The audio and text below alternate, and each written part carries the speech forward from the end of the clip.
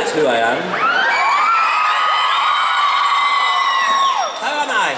Well, how could I not be absolutely filled with joy being here and hearing, meeting all these people and listening to all that wonderful and welcome? I'm happy.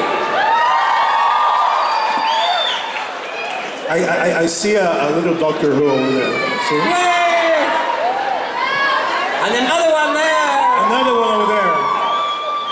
Qu- quantos Who's nós temos hoje aqui? They're all Who's. So, let's go with Who or let's go with Hobbit first? Who what? Who or Hobbit? Well, it's already answered. See? I think I think I better go for who. Yeah, I guess so. It'd be dangerous not to. Although who? I did Doctor Who 26 years ago. And when I did it, it was one of the greatest jobs on television. But um, I was only this year and last year and the year before I did The Hobbit. And that was one of a great role in cinema. So both are magical, really. I was very lucky to get both jobs. So when you got to be Doctor Who, uh, it was already big in, in, in Britain, right? Yes. So how, how, how was it to, to, to get that job by that time?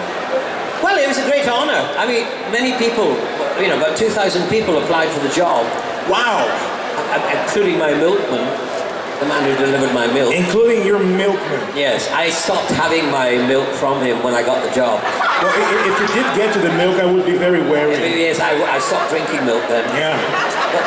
Have you ever drank milk again? No, It's good for the bones, you know. I know.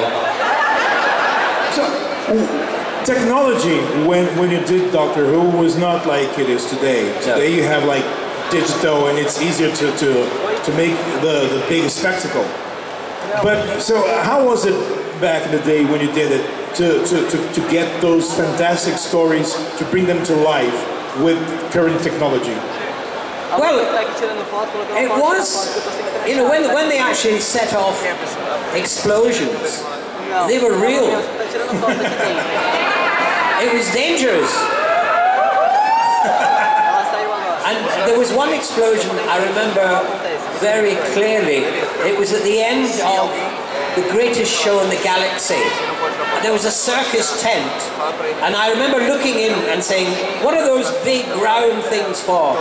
And they said, Oh, we're going to blow rubbish out. This was the last shot of the day, the last shot of that story. It could only be done in one go, it had to work. So I walked past the tent when they said action, and suddenly the whole Second World War erupted behind me. There was such an explosion, and I wasn't sure whether I was in fire or not. And my back, I could feel the heat, and I knew I mustn't blink, I must keep walking, because whether or not I'm dead by the end of this walk, they've got to get the shot in the can. And we did, and I didn't burn. Good. So, Doctor Who was already big when, he did it, but did you expect that three decades later would be like this big, even bigger? No, no, not at all, really. I mean, when I did it, um, it was 30 years old when I. I remember we celebrated, I think, the 30th anniversary, or, or the 25th, and then the 30th later. But um, I didn't really think it would go on and on. And yeah, I didn't really, because it came off for a while. They thought that was the end of it. But when they brought it back with a vengeance, it was great. I mean, I think it's, it's wonderful. It, it's taken off so much all over the world. People are now going back to the old doctors, the 20th century doctors, and finding, rediscovering us. And that's a joy to be rediscovered and brought, brought forward from the 20th century to time travel into the 21st. There you go. So, do, do you go around in, in, in a TARDIS or, or by, by plane?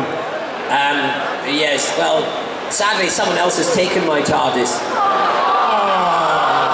Some Scottish fellow.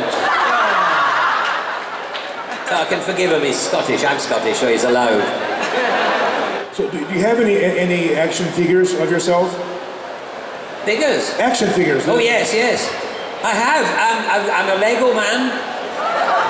I've got two Lego. One is um, Radagast the Brown. Okay. And the other is Doctor Who. I never thought when I was born, when I was, that I would grow up to be a Lego man. I'm very proud. That, that's a sentence you don't hear every day. I'm proud to be a Lego man. Olá, aqui é o Marcelo Paradela do Filmes e Games. Estamos na Brasil Comic Con e na surdina. Olha pra lá, olha pra lá, olha pra lá. É uma surpresinha pra vocês, meus amigos. Nós vamos falar com um doutor e com um mago de The Hobbit. Estamos aqui com Sylvester McCoy, o sétimo doutor. Hello. Hello. Uh, just asking uh, how you felt about the reception of the fans here on the Brazil Comic Con. Was glorious. It was wonderful. It was joyful. It was divine. It was. There aren't enough adjectives to describe it. It was great. Uh, we're from uh, a website called Filmes e Games, Fil- Movies and Games, and just we're going to do uh, uh, a series about Filmes e Games explains, and the first one is Films and Games explain Doctor Who, and I just wanted to say hi to all our friends of the website and the fans of the Doctor Who. Hello, hello, fans of the website and Doctor Who. Nice to be talking to you. And the last question is, how, what is your favorite movie and what is uh, your favorite game, even if if it's backgammon? Well, my favourite movie, I don't know, there's loads really, but the one that jumps to mind is uh, Kurosawa's Ran. I love his movies. My favorite Kurosawa too. Yeah. Oh, good. Uh, games? What are games? Oh, um, uh, chess. Nice. Thank you very much, sir. Pleasure, pleasure. Thank you.